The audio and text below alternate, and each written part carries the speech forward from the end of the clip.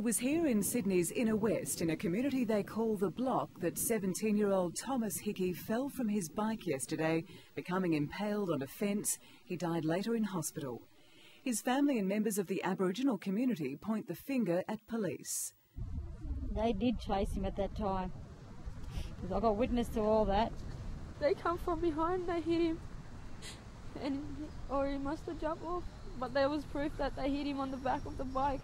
New South Wales police say they were in the area on a regular patrol, but insist there was no chase. He did see the police, uh, and the police saw him, but they, because he wasn't a person of interest to them, they continued on their on their, their patrols. And uh, what motivated the young man, unfortunately, we don't know. Inspector Emery says five officers gave the teenager first aid and have been traumatised by his death. Thomas Hickey, or TJ, was the oldest of seven children and Gail Hickey's only son. She says she'll begin her own investigation tomorrow with the support of friends. Every black child is frightened of the police. As soon as they see them, they just chase them for no reason. And this is a classic case of, of the way police are treating Aboriginal people, particularly here at the block.